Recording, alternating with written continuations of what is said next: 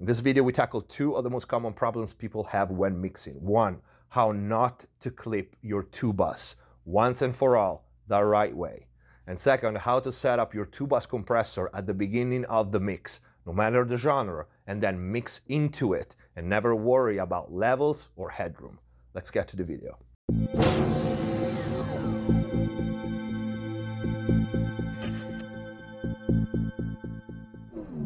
Hello everyone, welcome back to MixBus TV. Hope you're having a great day. Before we start, please check the info box down below for my mixing courses on ProMix Academy, free plugins, special discounts and offers. And if the videos are helping you, you want to support the channel. But most important now, if you want to access to the exclusive members only content, hours of in-depth mixing and mastering videos and full courses. Click the join button down here or link in the description to see all the perks of becoming a MixBus TV member, which includes mix consultations with me via Skype or email. All right, two birds with one stone in this video. I hope this will be the definite video on the subject, how not to clip your two bus, your mix bus, your master fader, call it the way you want. While achieving that is not as difficult as some people might want you to think, is also not as simple as turning down your master fader, which is asinine.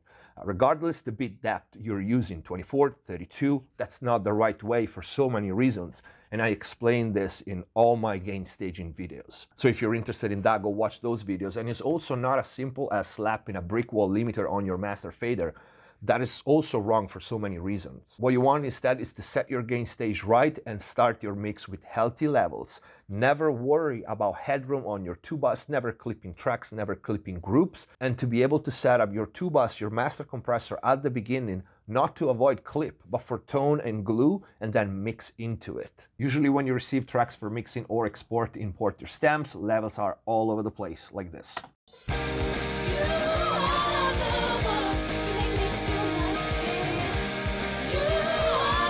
Everything is clipping. The master fader is already 4.8 dB, almost 5 dB over, and we can't hear anything. It's already a big mess. I'll show you how to go from that to this with just gain.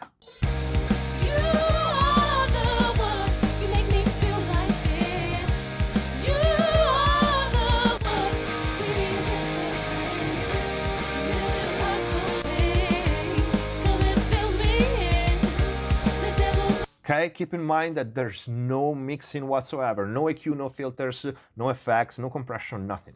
This is just level. So this difference alone should be pretty eye-opening. Let's see what I did, because the only thing I did is setting my gain staging. You start with the kick drum, that's usually where I start. And simply turn it down by 6 dB in this case. Then add the snare.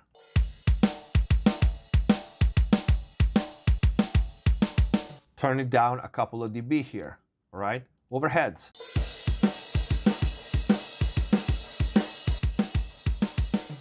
A dB reduction. Toms, I already set up a gate for them, so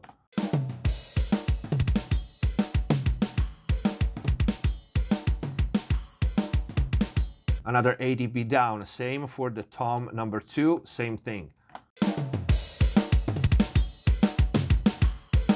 All right, the tambourine came in super, super high level.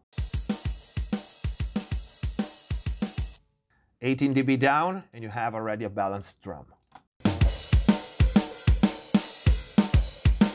Without.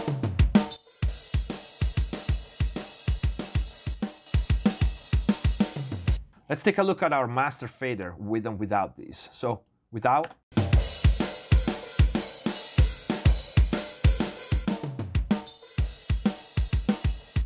We already gained headroom, we have more level available, and let's keep going. We have just one cymbal reverse here, is not that much. Another A dB down. We have a loop and a drum reverb, which are at the end of the song in this case. Let's just do with them without these two. This was kept the same level.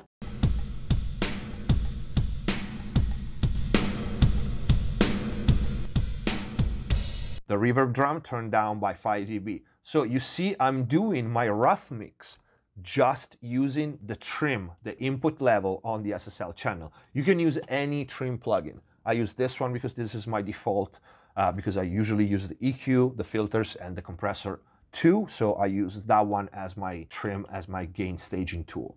And all the uh, green tracks are drums, they go to the drum bus. And the drum bus, I left everything as is. If you have a high track count, instead of reducing the level of each individual track too much, when you are happy with the balance and you reduce some level, you can reduce the level at the group stage. So in this case, in the drum bus out, if you want more headroom on your two bus, or like I said, you have many tracks to go, you can lower it down there. And you can do this for all various groups. For example, guitars, they go to this main guitar bus, and here you can lower it down if necessary. All right, let's keep going.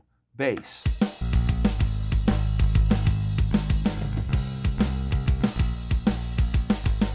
All right, 4 dB down, and we have more balance. Electric guitars, we have three of them without.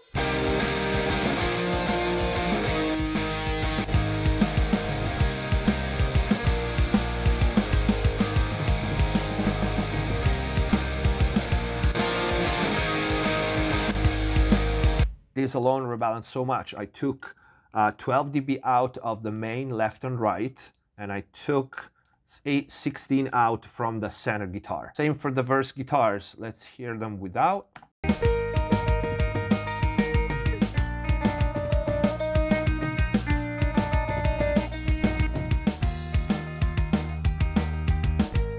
Twelve dB down, and we are a lot better than before.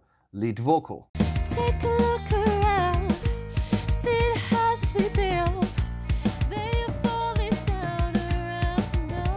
I usually keep the lead vocal a little lower than where I want to hear it, even in the rough mix, because I know it's gonna, a lot of things are gonna happen on the vocals, parallel compression, parallel saturation, and all that. But now we are balanced. Background vocals, same things. We have three of these.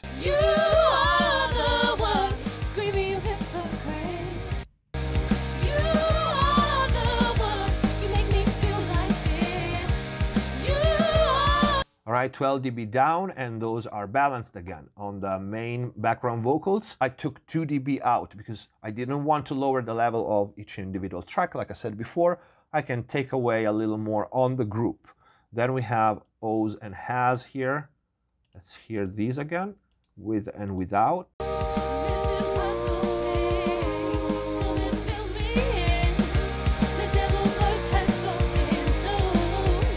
We took 12 dB out from those and these were recorded hot instead of this. And these are 16 dB down. And again, if you need, you can turn the group down more, as much as you need to be comfortable to have enough headroom on your two bus. So let's unsolo everything.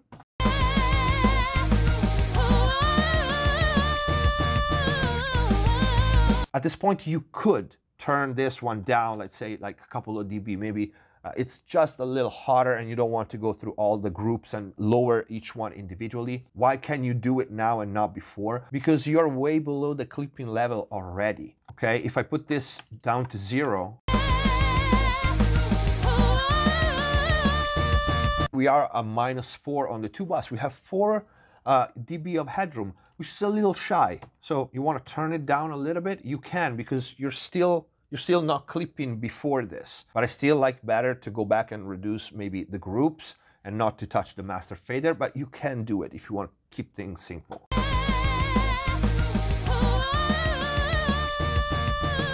Now we are at minus 8 dB of headroom on your two bus, you can do whatever you want. Now, when you have this balance, you can hear all the elements in a mix. They are pretty much at the level that you want them in the final product, even if it's not a mix yet. Uh, no compression, no EQ, no effects, nothing.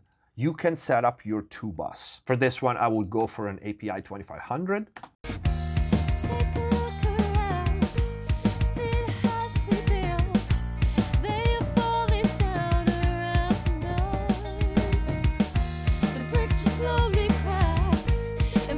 Settings, I can't give you numbers because it's stupid. Everyone who gives you numbers to throw at things in mixing is a stupid thing to do because they change every song based on what compressor are you using, uh, what is the side chain, what genre, uh, so many things. Me personally, nine times out of 10, use my Analog West audio mastering compressor here that is next to me, but also I have a lot of things on my two bus other than that. But we can see how I set this one up. is a pretty popular compressor for rock. Attack is a 10, ratio 4, and release a 0.1, so it's pretty fast. The type is old, and the tone is a med. So the internal side chain is tilted like this towards that mid and high end, and the low end is taken away from the detector. Hard knee, med could work too. Let me see which one is better. And then I would probably unlink up to 50%. It's rock and roll. So let's hear it.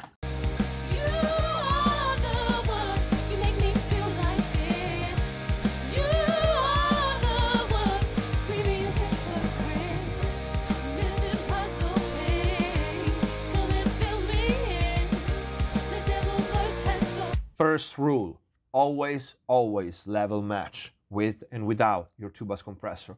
Actually, when I mix, I usually don't use makeup gain at all. I actually prefer to hear my compressed signal lower than without the compression, so I know for sure that not only I'm not fooling myself with level, but it has to give me the tone and the glue regardless the lower volume. So I, maybe I make my life harder, but it's a safe bet and it's a good benchmark for you to learn how to use two-bus compression. We can try another one. I have the Pulsar Mu here, which could be another choice, again, without.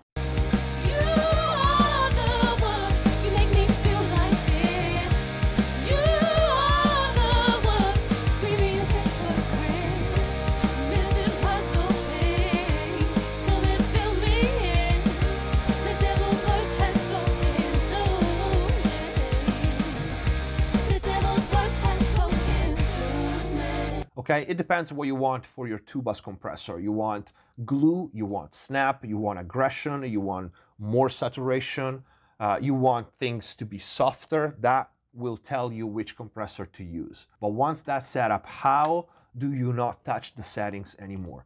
It's very simple because you already have a balanced mix at this point. From this moment on, every processing that you do with saturation, compression, EQ, parallel needs to be level matched, which means if I start compressing this snare,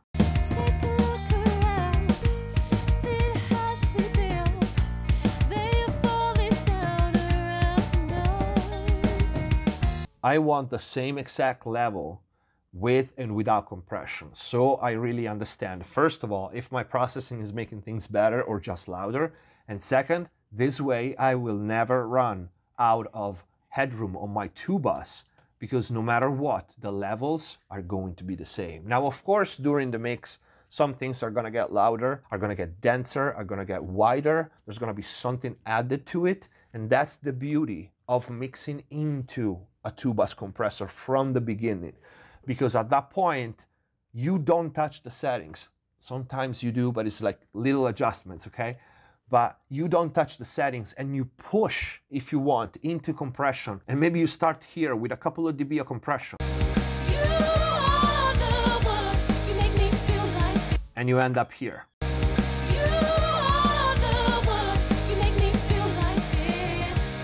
but that's all good and you will master it with experience. But that's the beauty of mixing into a saturator, a compressor, a color box is that you make decisions as you go, also based on how your two bus reacts. And you will learn with time to make certain decision because you know you're gonna get a certain result by pushing the bass more into it or the vocals more. So as long as you level match your unprocessed signals with your processed signals, you will never run out of headroom on your two bus. And the choice of pushing more or less into your two bus chain, whether it's plugin or hardware, is gonna be an artistic choice as opposed to, oh shit, I'm clipping, I need to turn things down, you know, which is not the right way. And in another video, there's gonna be members only, so you have to join the channel to watch all the members only content. I will show you the Unity Gain fader mix, okay? So how to get to your final static mix with all your faders or 90% of your faders at zero. And from there, you only have to worry about having fun with your faders and automation. Another very important thing, if you use any of the console-like saturation, you know, one on every channel. This is again the most important video that you can watch and share. For example, I use Heat, the saturator built in into Pro Tools, which is amazing. Dave Hill designed it. So for me, it's super, super important, the gain staging, because you can see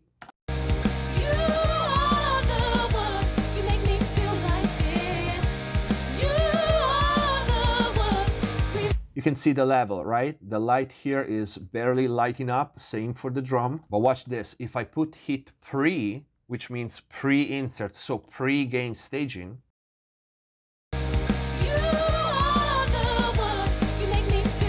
See, my light in the two bus is already constantly lit even at the first click. This way you can also control your saturation, your console emulation if you use them and do the gain staging first. Never worry again about clipping your two bus. And finally, being able to set your two bus compressor, like I said before, level match every processing, and you're good to go. This is it for this video. I hope it was useful. I hope you liked it. And if you did, please don't forget to leave a like and share. Leave your comments down below. Let me know if you have questions. Check the info box for all the links. My Artist Balance video, over 600,000 views already. Join the channel, become a member to access the real good stuff all the in-depth mix and mastering tutorials, have mix consultations with me. Follow MixBus TV on Instagram and Facebook. There's a lot of exclusive content in there as well. Thank you for watching. Subscribe if you haven't already. See you next time. Hands on my neck, hands grip my throat, throat. Lift me